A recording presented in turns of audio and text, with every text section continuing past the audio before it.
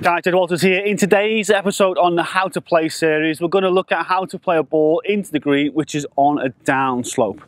Now, as you can probably see from the camera angle there, from the level of the ground, this ball, this ground is sloped a little bit that way. So we can see when I put the club on the ground there, that the handle is a bit higher than where the head is. So we've got a down slope sloping away.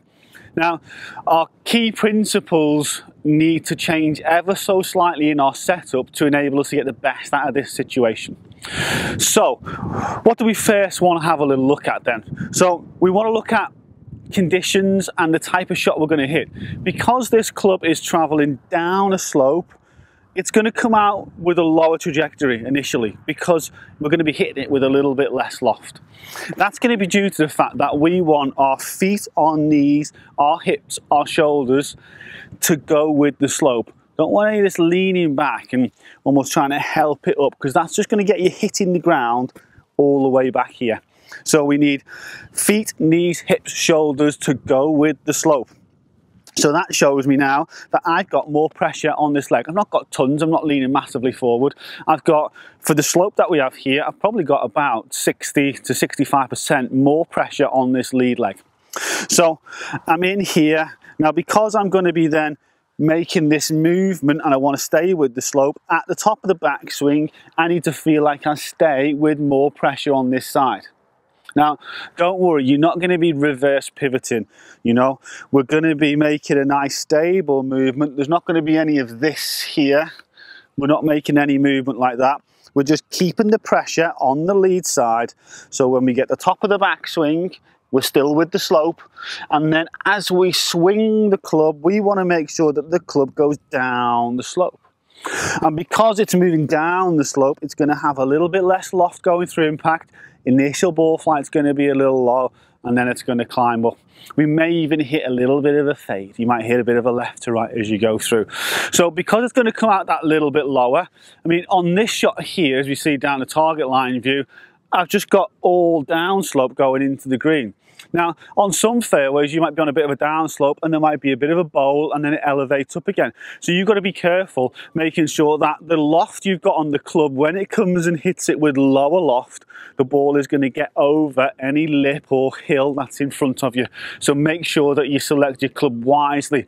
You might not be able to get to the green, but it's better than getting a hitting a great shot and it hits the face of a hill in front of you and only goes about 60 or 70 yards. So we need to go with the slope, we need to stay smooth with the body and we need to not try and hit and lash at the ball. We need to make a nice smooth swing, okay? So I'm gonna take my setup here and I'm gonna have my ball position as normal, as if I was on the level. So my ball position for my six iron there is a fraction forward of my central point. I've got more pressure, that's 60, 65% of pressure into this left side here. I'm going to stay where I am at that point and I'm going to make a nice stable backswing, staying over this lead side, and then I'm going to make my normal downswing. And as I stay with the slope all the way through, and then down into the finish. The key to this is not to try and hit the ball hard, but to swing nicely, swing smoothly with control. Here we go.